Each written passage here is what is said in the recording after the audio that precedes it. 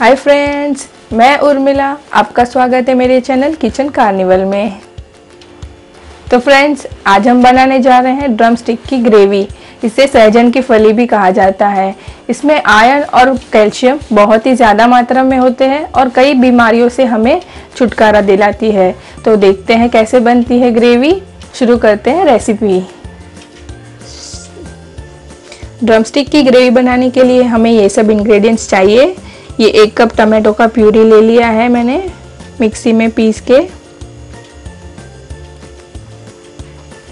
ये आधा लेमन का जूस ले लिया है। आप खट्टा अपने हिसाब से ज़्यादा कम रख सकते हैं। ये एक टीस्पून बारीक शुगर ले लिया है। ये वन फोर्थ कप बेसन है। ये बारीक धनिया कटा हुआ। लाल मिर्च powder two teaspoon. Two, one teaspoon हल्दी ले लिया है। टू टीस्पून धनिया जीरा पाउडर। ये सांबार पाउडर ले लिया है दो चम्मच। नमक स्वाद अनुसार। तेल ले लिया है दो बड़े चम्मच। ये ड्रम स्टिक्स को दो इंच या तीन इंच के टुकड़ों में काट के मैंने बॉईल कर लिया है। ये दो काश्मीरी चिली ले लिए हैं। अब सबसे पहले पैन में हम बेसन को छलनी से छालने के, ताकि लम्ब्स ना आ जाए। अब हम इसे हल्का सा रोस्ट कर लेंगे।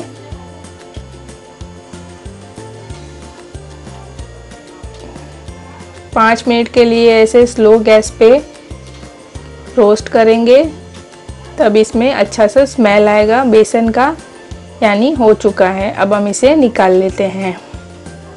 अब वही प्ले पैन में हम तेल ऐड कर देंगे। जीरा ऐड कर देंगे, लाल मिर्च, हल्का सा भून लेते हैं। अब टमाटो का प्यूरी ऐड कर देंगे इसमें। आप चाहे तो प्याज और लहसुन का पेस्ट भी ऐड कर सकते हैं। ये पाँच मिनट के बाद ये हम इसमें धनिया, हल्दी पाउडर ऐड कर देंगे।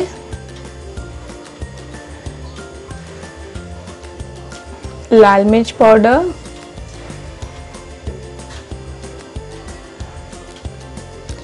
ये धनिया जीरा का पाउडर भी ऐड कर देंगे। इससे इसमें बहुत ही अच्छी खुशबू आती है और नमक ऐड कर देंगे स्वाद अनुसार। ये सांबार पाउडर,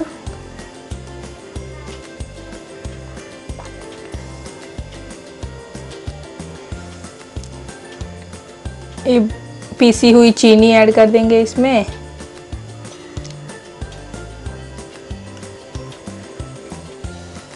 नींबू का जूस और इसे अच्छे से मिक्स कर देंगे।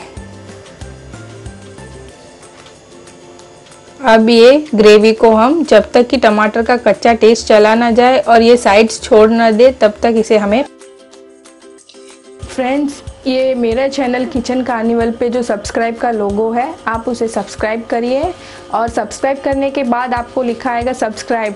तो बाजू में जो बेल आइकन है, उसे दबाइए। बेल आइकन दबाने के बाद ये दो लाइंस आएगी। तो मेरे जो भी नई रेसिपीज़ है, आपको उसके अपडेट मिलते रहेंगे। और जैसे ही मैं नई रेसिपीज़ अपलोड करती हूँ, आपको मैसेज आएगा।